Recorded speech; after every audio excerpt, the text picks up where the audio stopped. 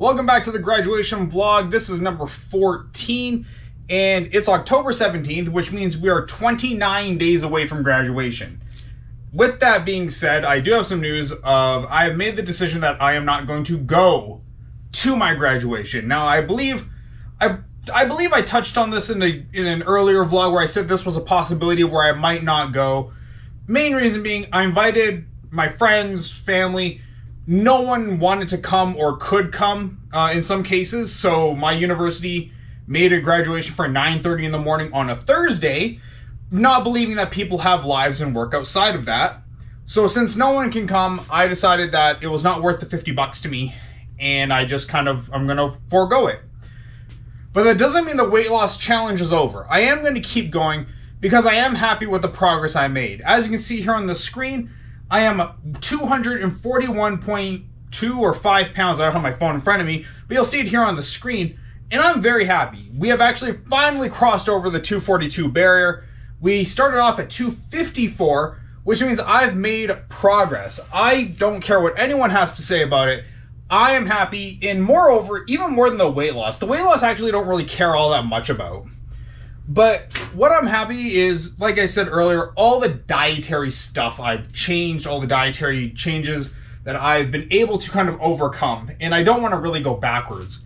So we're going to keep going with it. We're going to see where we end off on November 16th. I didn't work out last week. I know I said in the 13th vlog I was going to have like footage like I used to where like I had the food and the workout videos and all that. I'll be honest with you, I only worked out Sunday, Monday last week at the gym. Didn't work out here at home. I've been busy with a new car purchase and house purchases and all that.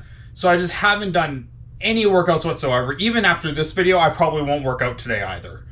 So I probably won't get to it until until Wednesday.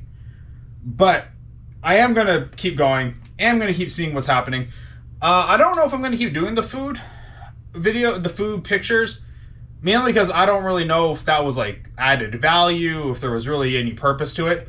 But there is that. We'll see how I feel going forward. I know I promised it, but in terms of like trying to make good content, I'm just trying to see if there's any value to be added there. With all of that being said, here is the side view of 241 and whatever change I have on the picture here. I'm pretty happy. I'm getting there. Clothes are getting looser. Jackets feel better. I'm overall good. I'm happy. So there's vlog number 14. Very short, very sweet. I know, I know, broken promise. My apologies. Uh, I will try and do better for the next one. Hopefully. And moreover, I just haven't really wanted to be in front of a camera lately. Even all my last few videos have all been like just me not in front of the camera, not wanting to do anything. So that's a whole psychological thing for a, for a whole different channel, not for this one.